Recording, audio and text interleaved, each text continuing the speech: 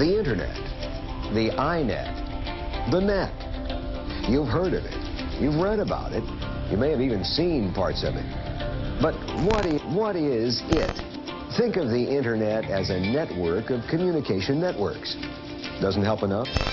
You access the Internet from a variety of points and through a variety of connections. You're saying to yourself, well, now I understand this Internet concept, a little this Internet, this Internet, Internet concept a little better, but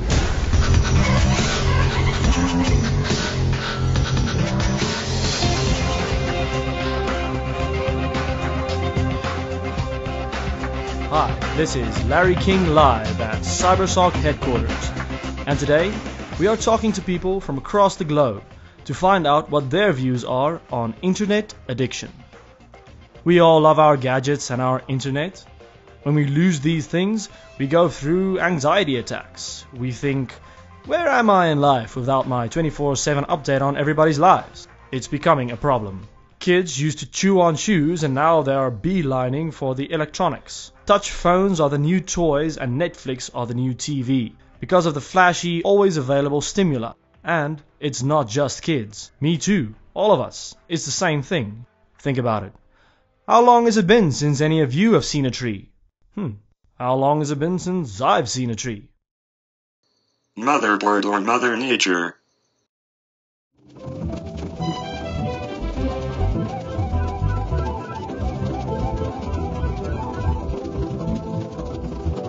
Mr. Rupert Boneham is an American mentor for troubled teens who became known to reality television audiences in 2003 as a contestant on Survivor Pearl Islands, where he placed eighth. Hey, Larry! I know what you're talking about. I love the trees, man. There's nothing more beautiful than trees. I struggle with teens and addiction every day. They don't get enough sun, man. It's like nature is calling to them, and they just don't want to hear. How do I reach these kids? The internet has caused a decrease in child activity, and obesity has become a major problem in most countries. We don't go for hikes because virtual games and tours are available on the internet. In a few years, there is going to be nothing left to take a picture of. The rhinos are dead, the elephants are next, and we're felling the trees at an alarming rate. That's why I have dedicated myself into helping kids get back in touch with nature. It's a good cause, Rupert. Now, 39 days ago, I was browsing YouTube and your name popped up. Why is it that you're so popular on the internet? I became huge on Survivor, and people related to me. It's sad that they don't relate to Mother Gaia like they do to other big name celebrities. So, what was the challenge for you after becoming famous? To not praise myself as much as my fans do, people really become obsessed with celebrities. I had to force myself not to stare in the mirror for too long. The torch for humanity is going out and a cyber reality is being born. What can we do to prevent this? It's evolution, man. We can't stop the process, but we can determine the outcome. So go outside, talk to a bird, climb a tree, shoot a squirrel. Get back in touch with your primitive side. And thank you, Larry and CyberSock, for giving me the opportunity to touch these kids without the help of the internet. Thanks, Rupert. Now, we have to ask the question Is losing touch with nature the only thing we lose? What about our ability to physically play outside? Counseling are for people that have already been sucked into the dark digital world of cat videos and 9gag. But us here at Cybersock intend to make people aware of the dangers before becoming addicts. We have to protect our children from becoming zombies of the dark digital corn. Press start. School children are skipping PE and home ec to play on their phones. And we have all heard of people dying of long gaming sessions. Dota, I blame you. People are forgetting to live life because of the internet. So, I'm chatting with someone who knows the meaning of how to play. But this woman created a name for herself the old fashioned way. She's playful, traditional, but breaks every taboo in the book. Well, until Gaga anyway. Welcome, Madonna. in a material world. Living in a material world. Living in a material world. Hi, Larry. One of the key problems we face in these desperate times is that children don't know how to play outside anymore. They're so addicted to sitting in front of a screen. And that is why I have dedicated my life into helping kids understand that they, they should play more, they should be creative and innovative, and actually step outside once in a while. Why are you a spokesperson for internet addiction? Because I grew up during a time when if you were bored, you did something useful. You didn't just sit on the couch or watch TV. We went outside and rode a bike. You lead an all American life. Do you believe the West is to blame for the rise in internet addiction? You can't blame a country for a global problem. In South Korea, where internet addiction is a hefty problem due to the tech boom, the government is stepping in in an effort to educate the population at a very early age. Because it is estimated that over 2.5 million people are addicted to their smartphones in Korea. 2.5 million, spending over 8 hours a day on the devices. Wow, that's a lot. Be with your family, will you? Do you think kids can still be healthy and play and not just girls and boys gone wild? Kids play online because they see their parents playing online. The key is that everything should be given to them in moderation. Consumerism has driven even the sanest person to shop online. Are you really such a material girl? Well, if you want to send out the right image, then you have to look good. Shopping online has made it easier for me to dodge the paparazzi. Are people using the internet as a substitute for love? Of course, because we love ourselves more than we do others. And the internet, we can create an identity that we love and that other people can love. Thanks, Madonna. Thank you, Larry. Copy and paste.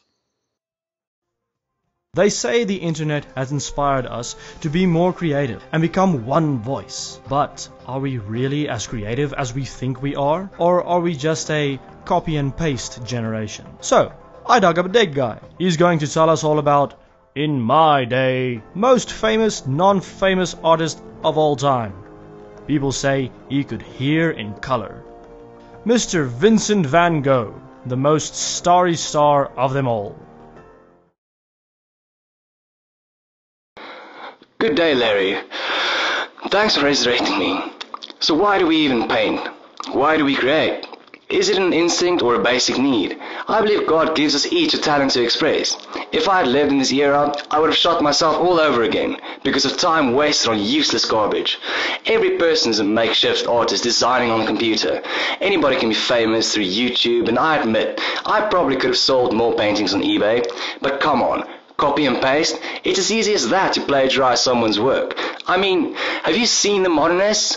All the cubes look alike. Are you a true artist, Vincent? God is the true creator. I am merely a reflection of his glory. I didn't have the exposure artists have today. I have 20 or more websites today commemorating my work. There are even theories developed from my work. Is that why artists publish everything online these days? To just make money? They put it out there or create art solely for the purpose of becoming famous, I think. Do you think internet addiction is a mental problem? Internet addiction is not considered a mental illness as of now, but the problem is a real one. We aren't preaching that technology is the devil, because it's not. It's like everything else in the world, based in moderation. Has something precious been lost within this online culture? Creativity is constantly lost and found. The Middle Ages proves this.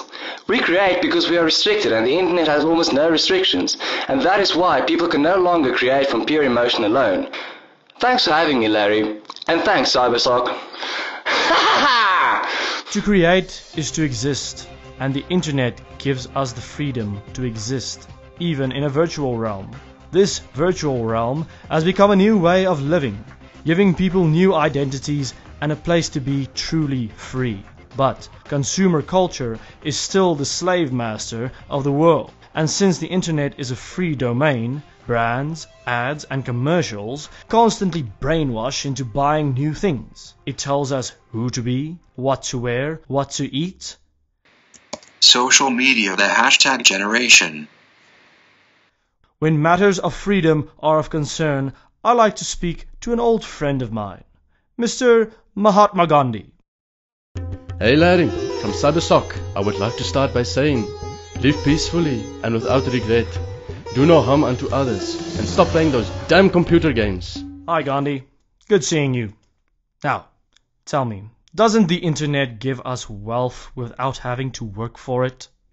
If wealth is gathered without working for it, one loses oneself in greed. Paris Hilton and the guy who invented the pool noodle. Wealth wasted. Do you think the pleasure derived from the internet is a true pleasure? There are more dilemmas. We only receive a synthetic happiness, a glimpse of others' lives, not our own. We are happy for the Sims character for earning money, but it's not our own fortune that has improved.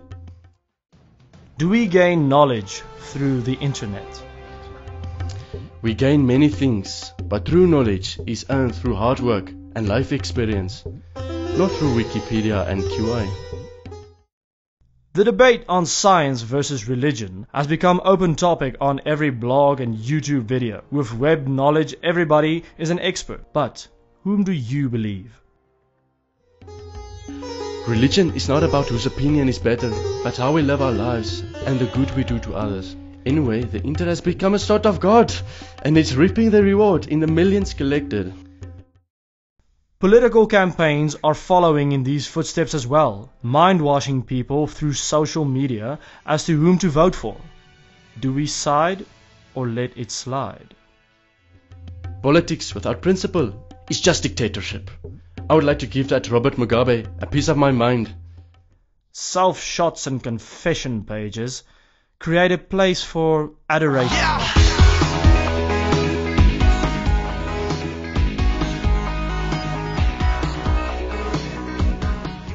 What do you think about this growing narcissistic generation? It is good to love yourself, but dark faces? What is this face of a duck? Well, a duck face is. Wait, we don't have time for this. Um, do you know you are a cartoon character now, as well as a ruthless character in an online game? You yourself have become a simulated identity. Well, at least I'm remembered. Too bad it's not for the things that I've done right. Thanks, Larry. And remember, don't believe everything you see or hear on the internet. By living this way, we are losing what is most important to us our humanity. How much more can we love ourselves? We here at Cybersock are created to tell you, the viewer, who is probably watching this online, to get the hell out of your chair and go do something useful with your life. Learn a skill or give your mother a hug. That's all from us. Leave a comment. Nowhere. This isn't Facebook. Good night.